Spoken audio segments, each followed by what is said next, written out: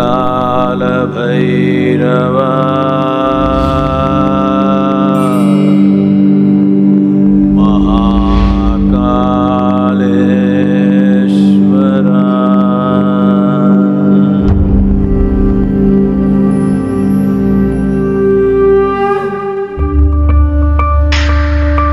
प्रदेश के मालवा में क्षिप्रा नदी के तट पर हज़ारों वर्षों से भी पहले से बसी है भारत की सबसे प्राचीन सांस्कृतिक एवं धार्मिक नगरी उज्जैन।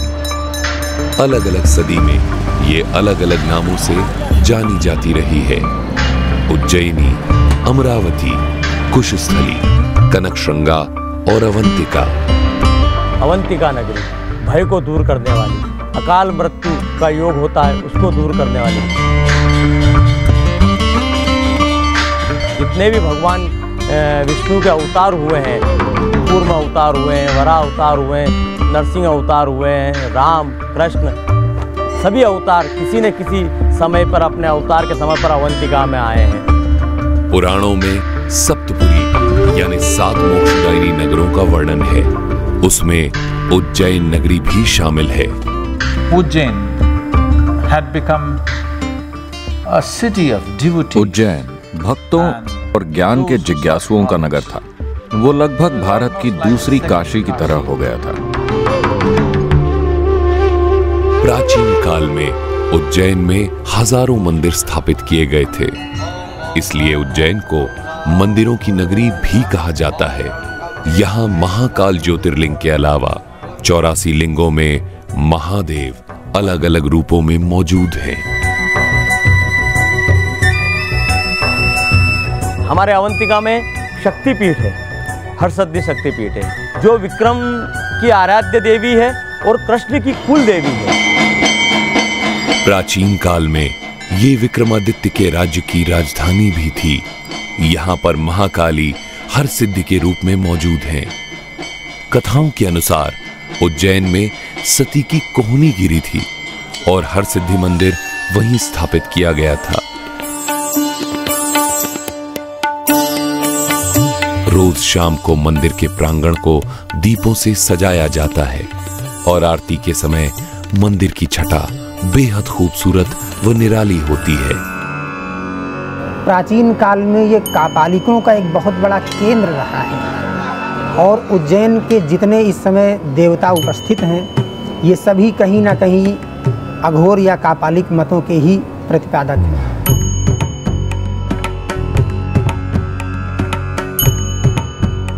काल भैरव काल भैरव का अर्थ होता है कि जो काल अर्थात समय का भी भरण पोषण करने में सक्षम हो।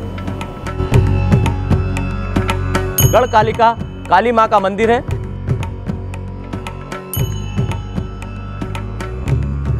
जो महाकवि कालिदास की आराध्य देवी रही है जहाँ से कालिदास को ज्ञान प्राप्त हुआ है। गढ़ कालिका ये क्रम से सबके नामों में काल का जो वर्णन आ रहा है, काल अर्थात समय। और उस काल के ऊपर भी जो नियंत्रण करता है, वह महाकाल है।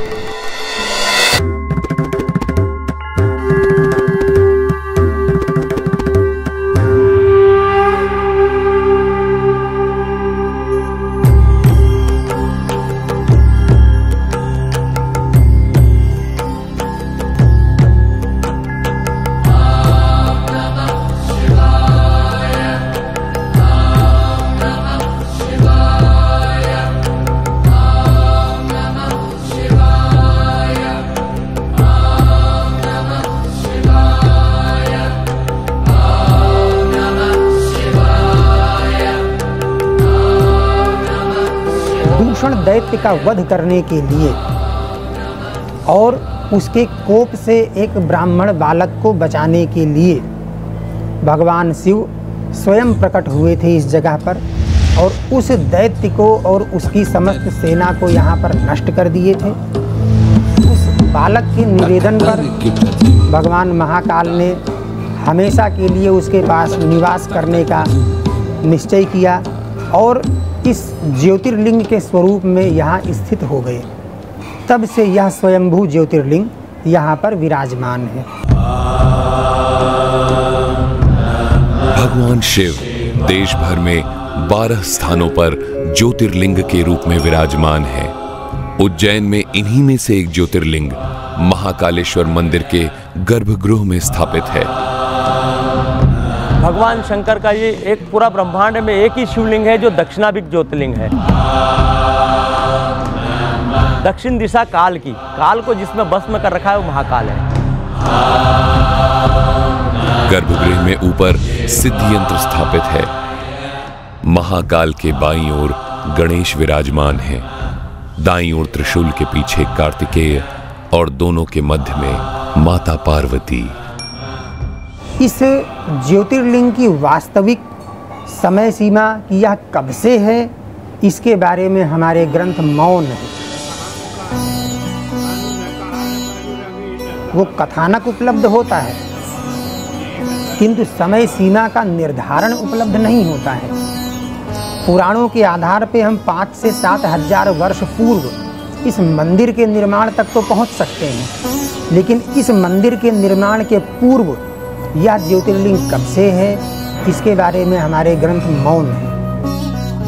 क्योंकि आज भी वास्तविक भूतल के नीचे महाकाल जी विराजमान होते हैं। शम्भो शम्भो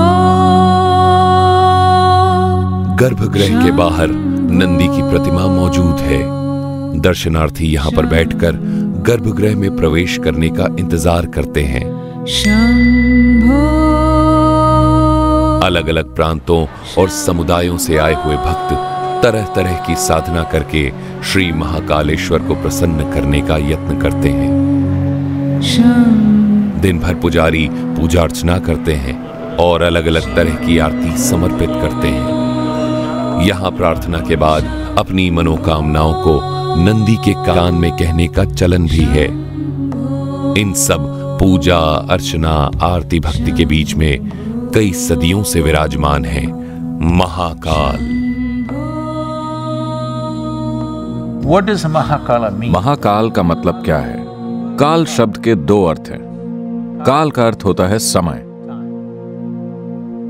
और काल का अर्थ अंधेरा भी होता है। समय यानी कि आपके वर्तमान अनुभव में समय का मतलब चक्र होता है।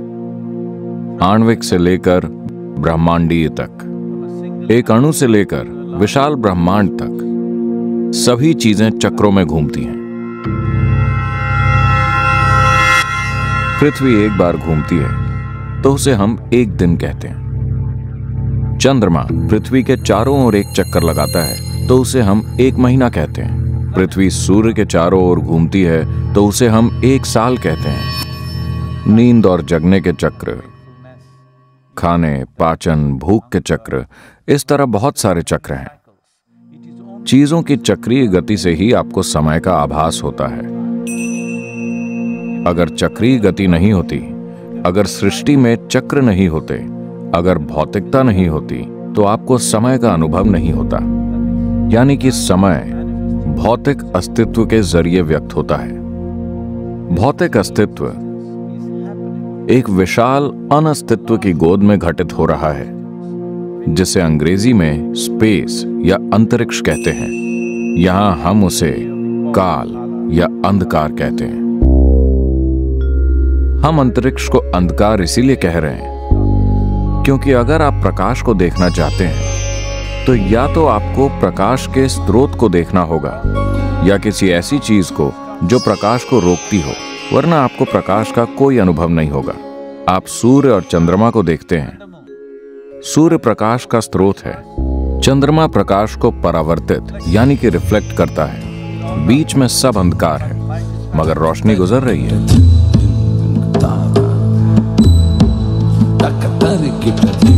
अस्तित्व का मूल आधार है काल, या समय। क्योंकि समय के कारण ही स्थान की गुंजाइश है वरना स्थान का अस्तित्व नहीं होता। त्रिलोचनाय। इसलिए स्पेस को काल या अंधकार कहा जाता है क्योंकि अंतरिक्ष अंधकारमय है। तर्क अगर आप समय का अनुभव करते हैं भौतिकता के परे या भौतिकता की सीमाओं से परे। तो ऐसे समय को हम महाकाल कहते हैं।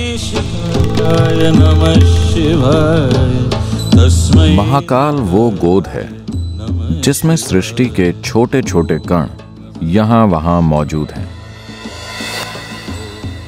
बाकी सब खालीपन है। इस फैले हुए ब्रह्मांड में करीब निन्यानवे प्रतिशत खालीपन है। विशाल आकाश गंगाएँ चक्कर लगा रही हैं, मगर उनका निन्यानवे प्रतिशत खालीपन है। इसलिए महाकाल की गोद में ही सृष्टि घटित होती है।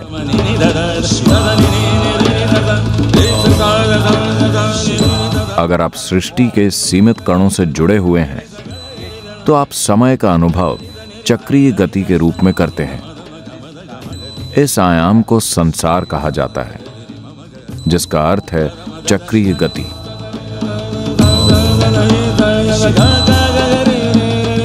अगर आप इसके परे चले जाते हैं तो इसे हम वैराग्य कहते हैं।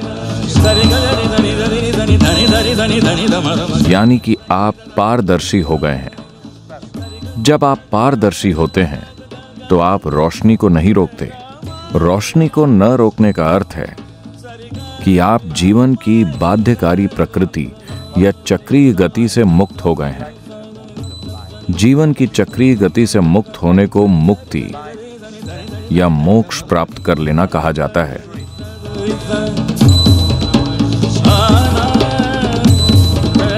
इसलिए जो लोग मुक्ति या मोक्ष की इच्छा रखते हैं, उनके लिए यह आयाम, जिसे हम महाकाल कह रहे हैं, बहुत महत्वपूर्ण हो जाता है।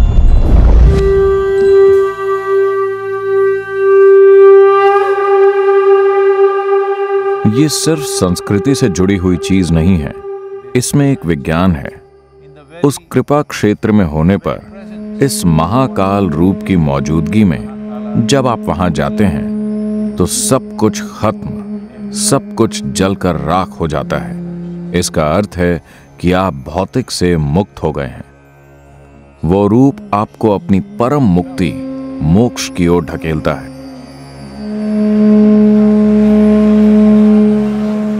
मुक्ति की ओर ले जाने वाले महाकाल की आराधना में कई आरतियाँ की जाती हैं। सूर्योदय से पहले भस्म आरती से दिन की शुरुआत होती है। भस्म आरती के दौरान महाकाल को पंचामृत अर्पित किए जाते हैं।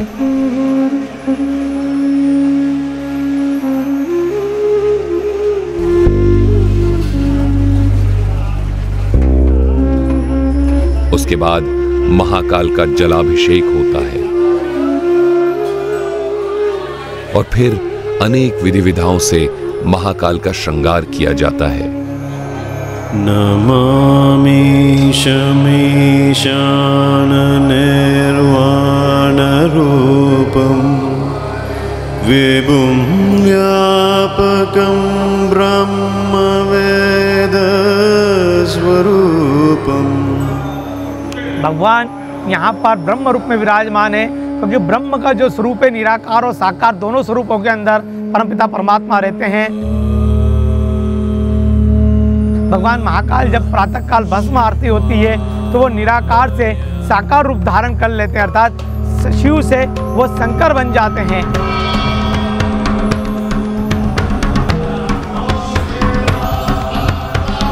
अंत में महाकाल पर भस्म अर्पित की जाती है।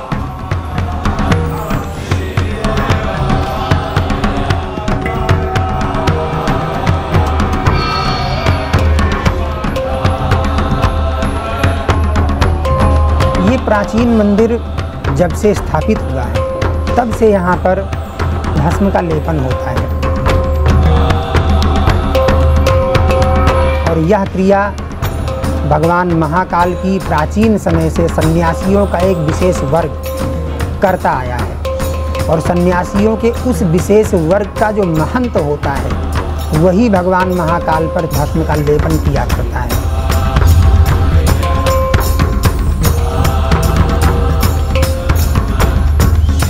प्रातःकाल नित्य भगवान महाकाल की भस्मारती उसी क्रम से करते हैं, जिस क्रम से आज के हज़ारों वर्षों पूर्व होती थी।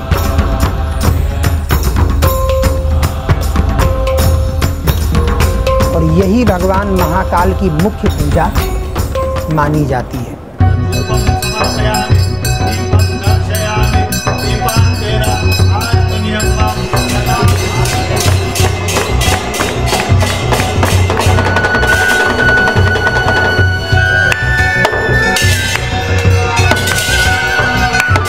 भस्म आरती का समापन, प्रचंड अग्नि, डमरू की तीव्र ध्वनि एवं शंख के जोरदार स्वर के साथ किया जाता है।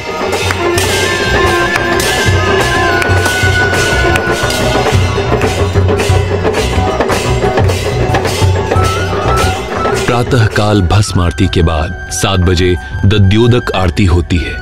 दही और चावल का भोग लगाया जाता है। दोपहर दस बजे भोग आरती होती है, जिसमें भोग का अर्पण किया जाता है। शाम पाँच बजे भगवान महाकाल का पूजन श्रृंगार होता है, जिसमें भगवान महाकाल को भाँग समर्पित की जाती है। उसके बाद जल चढ़ना बंद हो जाता है। शाम सात बजे संध्या भोग आरती की जाती है।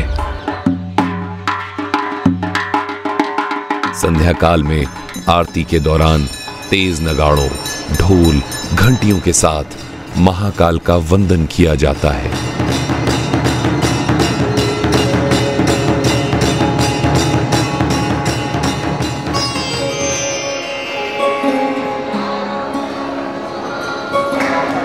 जो संध्या आरती होती है, संध्या आरती को मृदंग आरती भी कहा जाता है तो वो आरती का दिव्य दृश्य ऐसा लगता है कि कोई राजा, की राजा का मनोरथ हो रहा है भगवान राजा के स्वरूप में बैठते हैं, अवंतिका के राजा है, ब्रह्मांड के राजा है।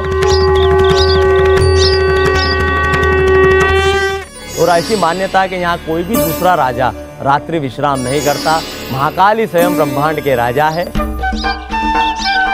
संध्या आरती का सुंदर चित्रण कालिदास ने अपने ग्रंथ मेघदूत में कुछ इस प्रकार किया है।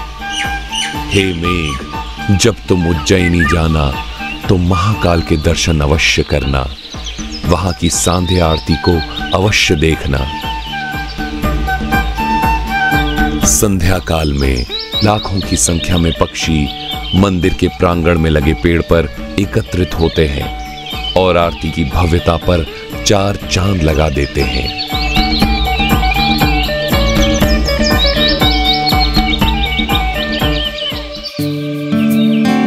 महाकालेश्वर मंदिर में गर्भगृह के अलावा दो और महत्वपूर्ण हिस्से हैं। सबसे ऊपरी तल पर मौजूद है नाग चंद्रेश्वर जिनके दर्शन केवल नाग पंचमी के दिन ही होते हैं, और उसके नीचे मंदिर के पहले तल पर ओंकारेश्वर रूप में शिव विराजमान है।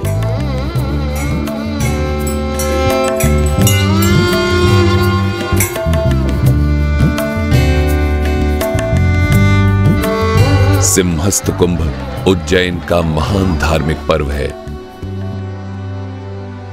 कुंभ का शाब्दिक अर्थ है कलश। पुराणों में वर्णित कथाओं के अनुसार, समुद्र मंथन के बाद अमृत लेकर जाते समय अमृत की चार बूंदें कलश से छलकी और पृथ्वी पर गिर गईं। उसके बाद उन चार स्थानों, हरिद्वार, नासिक, प्रयाग और उज्जैन में कुंभ मेले की प्रथा का जन्म हुआ।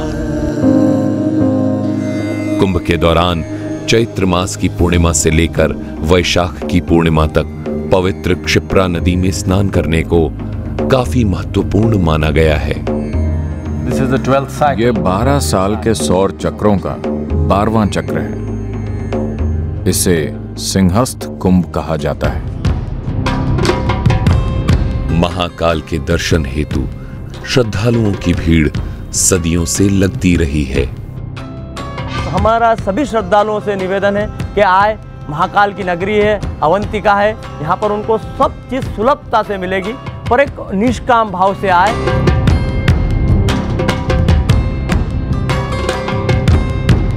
शास्त्रों के अंदर भगवान शिव के चरण स्पर्श का महत्व अर्थात भगवान शिव के चरणों में स्पर्श है, ना कि लिंग पे स्पर्श है। दूर से ही भगवान शिव को भी यदि नमस्कार कर लेता है दूर से यदि भगवान शिव को किसी जल पात्र के माध्यम से भगवान पर जल चढ़ा देता है तो भगवान महाकाल के ऊपर जल चढ़ता है। यह भावना लेकर आए। भगवान के ऊपर जो जल चढ़ रहा है, जल लेने की प्रथा, जो निर्माल से लेने की प्रथा है, वो जलाधारी से है। कुछ लोग श्रद्धालु भगवान का जो कलश चढ़ रहा है, उसमें से जल लेते हैं। वो गलत है। भगवान महाकाल को मस्तक नहीं लगाना चाहिए। उनको या तो जलाधारी में स्पर्श करे वो। दूसरा मंदिर की एक मर्यादा है, उसका पालन करें। अपनी जो भी शासन के द्वारा जो व्यवस्था बनी हुई है, उस व्यवस्था का पालन करें। सदियों से सभी के स्वागत में हाथ जोड़े खड़ी हैं मंदिरों की नगरी उज्जैन। और सदियों से भक्तों को अपनी कृपा के आगोश में भरकर उनकी मुक्ति का मार्ग प्रशस्त करते हुए विराजमान हैं। कालों के काल, महाकाल।